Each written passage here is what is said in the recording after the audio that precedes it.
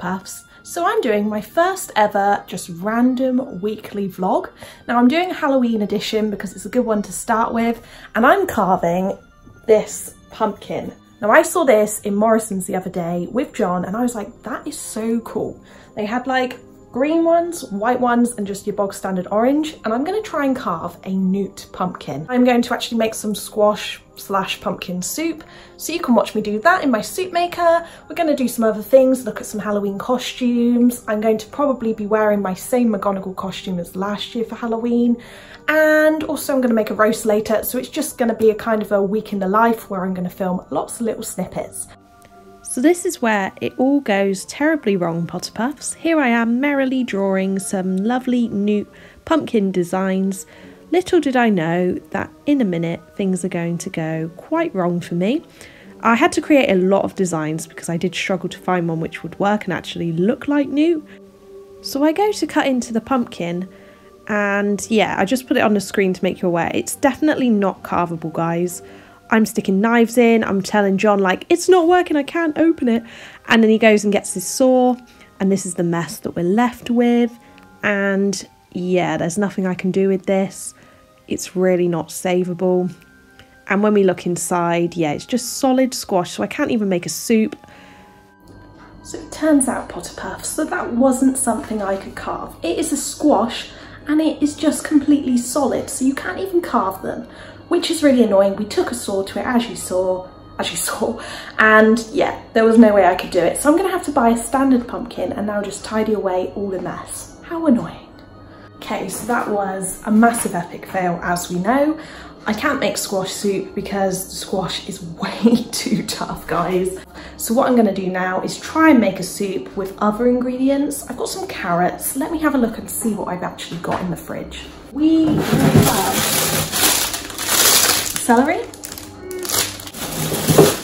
carrots, chilies, red onions. Could this make a good soup? So we are going to make, let's have a look, carrot and celery soup. And yeah, let's get on with it. It's really, really easy in the soup maker. So I'd have to slave over a stove, which I wouldn't want to do.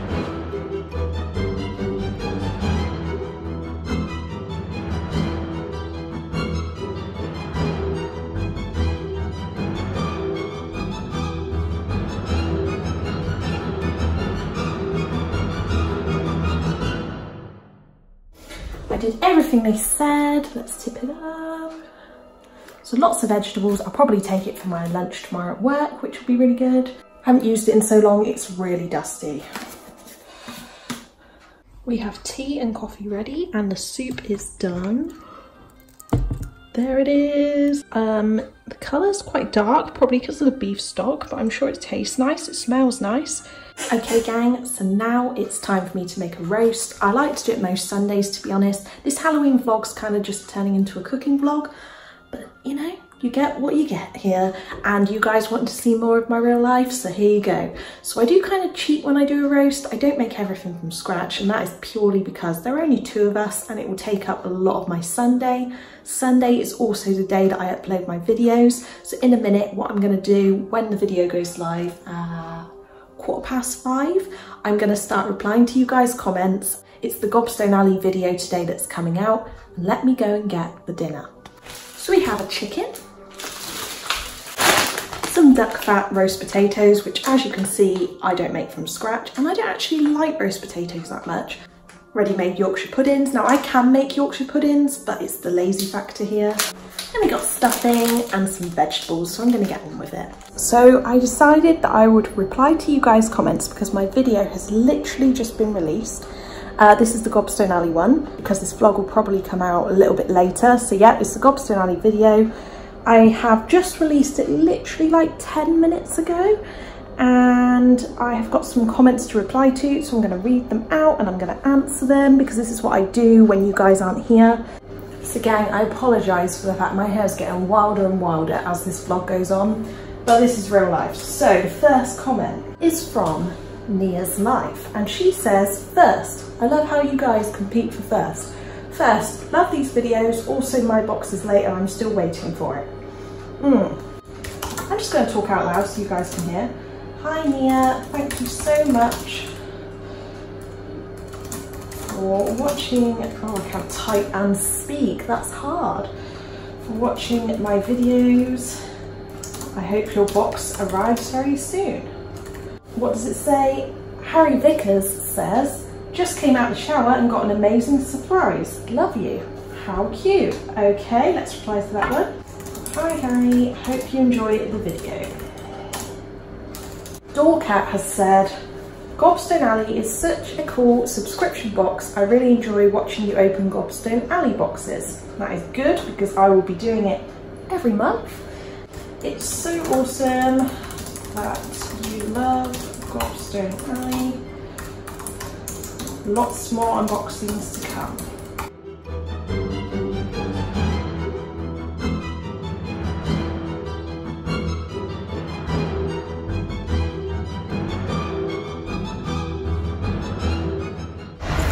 Potter Puffs, there is a package waiting for me.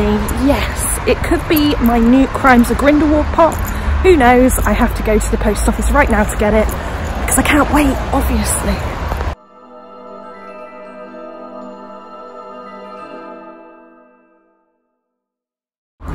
Got it. Let's hope he's not damaged. I don't think he is. That is a real bonus.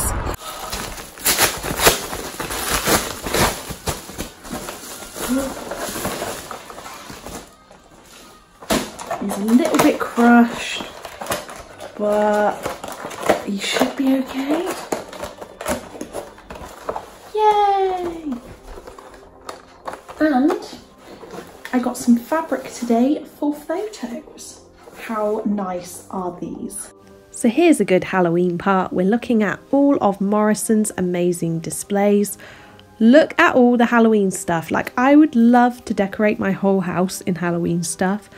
And these mummies are hilarious. I absolutely love them. And obviously I'm a child and press them and turn them all on. But look, look at all of it. The only thing I don't like is the spiders.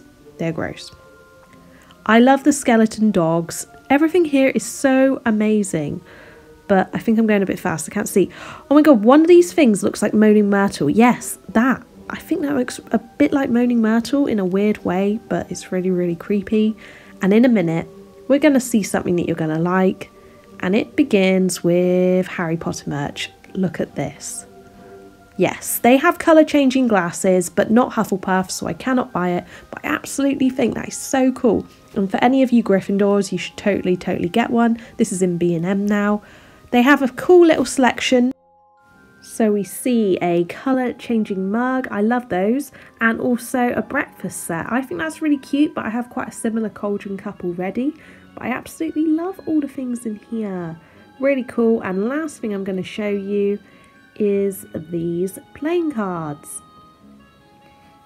So guys, it's been a while since I updated you guys on the vlog. This is the first proper vlog I've done. I filmed it over two weeks and the last time I spoke on the vlog, so what you just saw a couple of seconds ago, was like a week ago. Now we're a week closer to Halloween and I still haven't made my proper pumpkin after the fail. So I've had a cold for a few days. I've been filming like the life print video, which you saw last week. When you're watching this, I'm actually at DryadCon, so it's been very hectic, but I'm going to do my proper pumpkin today because we've learnt our lesson, just buy a normal pumpkin. So I'm going to show it to you now and I've also bought an additional extra. Oh, so here is my pumpkin, £2 in Tesco. I'm going to carve this as Newt, as I said I was going to in the last video. I'm also going to do some painting because that is my strong point. With Newt, I also got the cutest pumpkin I think I've ever seen. I mean, how cute is this pumpkin? It was a pound and the big one was two pounds, so not cost effective. It's called a munchkin pumpkin. How cute is that? So I'm gonna maybe paint a little Pickett on it and just stand it next to Newt. Who knows, I'm creative, I'll come up with something. For Halloween, I don't usually do loads. When I was younger, we used to do like a Halloween feast. I used to love that. I used to do that at home. Um, I don't do that anymore but we do have a buffet at work and we dress up for work. So due to costs and the fact I do not have much spare money with the things I'm doing this month and the fact I need a new car, let's not forget that. So I'm going to be going again as Professor McGonagall. I love that costume, so any excuse to wear it. I'm really not fussed about the fact I have to wear that again. You've seen me wear it on previous videos. For DragCon, I've got an outfit I'm going to do. It's going to involve the same skirt that I wore to uh, the studios, but I'm going to mix it up with t-shirts. I've got some different ideas and I've got the coolest backpack ever, which I'm going to go and get and show you right now. The backpack of my dreams came. It's a Hufflepuff Queen one because I thought when I go to Cursed Child and when I go to DragCon, I don't want to have to wear the same jumper all the time or the same outfit. So instead of getting a t-shirt with the Hufflepuff Queen written on it, I decided to get a backpack, which means whatever event I go to, I'm prepared, it's on my back, it's perfect, I can wear a jacket, because you couldn't do that if you were wearing like a Hufflepuff Queen t-shirt. So it's just a good logistical choice, if that is a good word to use, probably not. Anyway, so the backpack I got was from Doodle Togs, which is a website I'd never heard of, but they make cool backpacks. And it's got the Hufflepuff Queen logo on it with the Potterpuff, all of my social medias, and let's appreciate the fact that I put my Dumblebee on the backpack. How cute is that? And also McGonagall because she is my fave. Um, it's really cute. I've also got my Hedwig, which I won from a giveaway once from the Platform 9 and 3 quarter shop. I can't wait to go to DragCon. And the reason I got something printed with my name is not to be like big-headed. It's just because last time you guys couldn't tell if it was me or not. Like at the studio tour, a few people said they were a bit too nervous just in case it was someone who looked like me. So now, if I've got a backpack with my name on, I'm hoping you guys can spot me easily with the yellow because I know a lot of you guys are going to DragCon that's that. I really need to get on with the pumpkin to show you. It's going to look so cool. Just to let you guys know as well, this hoodie is potentially the best thing I own. Look at it. The golden snitch zip is everything. And I just needed to show you this because I think it's an integral part of Halloween or just October and winter in general, is wearing this amazing onesie which I got last year in Primark. It's the onesie of dreams. I love it. Let me know as well, because it is my first vlog, what you think of it, because it's a lot of fun and I'm really enjoying it and I hope to do a lot more Hufflepuff Queen vlogs for you all. So take two, I actually do manage to get into the pumpkin this time and I'm like so relieved right now. I'm like, yes, I've done it, I've got in. It's going well, everything's still going well. It's really, really slimy. I can't be bothered to make a suit this time because we've been there, done that. got the t-shirt. But now I'm just, yeah, scooping it out. Things are still going well. Do you like my Harry Potter leggings, guys? I absolutely love them, apart from they are really broken now. Um, so yeah, nearly done hollowing out this pumpkin. And then, yes, now it's time to draw. So I draw out another design. Again, it's a really cool Newt one. And I can't wait to show you on camera what's going to happen next, which is really going to be an anticlimax for you. So that's why it is called a pumpkin fail video. At least I am hollowing it out properly and cutting out the eyes. Something went wrong. Okay, so I did my first pumpkin. We all know that went wrong because of the fact I couldn't carve it. That was beyond my control. Today, as you saw, I attempted to film a time lapse of me creating this magnificent Newt and Pickett kind of magnificent pumpkin and I was really happy and I got it all done and I got right to the end and guess what I hadn't done? Something quite integral when you are a vlogger, turning on the camera. So we've just created two pumpkins now. I'm not doing it again. I actually refuse to do another pumpkin. I'm gonna hate pumpkins for life if I have to do another one. But we're just gonna have a little look at the pumpkin I created that you didn't see me create. You saw me cut out the eyes and the eyebrows. That's the actual carving part. Um, after that, as you can see, I did painting. I'm quite impressed with what I did. It's not a masterpiece. I work better on canvas or paper and I also work better when I'm not having to do it in quite a limited amount of time. But I created some nice little ombre effect Newt hair. I've done some nice little eyes I was going to attempt to kind of shave the eyes, but I thought, no, don't try and confuse things. Um, he's got his bow tie, which you can just see here, and then he's got a little scarf. So I'm actually quite happy with him. I've also done, oh, you can't really see it, but like when he's not drying, there's a bit of scarf paper here, which is quite cool. You can add that to any design. So I did a Harry one last year. This year we've got Newt. Here he is. I'm sorry it's not a time lapse, it was meant to be. And also, can we please appreciate my kind of wonky Pickett, but I used a baby pumpkin to create a Pickett to go with Newt, which I think is a really cute idea. This video didn't go how I planned it to, but I've learnt from it. I've learnt to turn on the camera. Um, so yeah, that's the Halloween vlog, guys. I hope you've enjoyed it. I could get really frustrated about the fact that I hadn't actually done this video properly, but I'm not going to. It's over, it's done, and we have a lovely Newt and Pickett after. This is a cool idea though if you do want to carve one for Halloween. If you're not great at carving, do some painting instead. Be expressive like me. I literally was like, you would have seen it if the video was recording. Basically, you would have seen me just splatting paint everywhere. It was a lot of fun and quite therapeutic.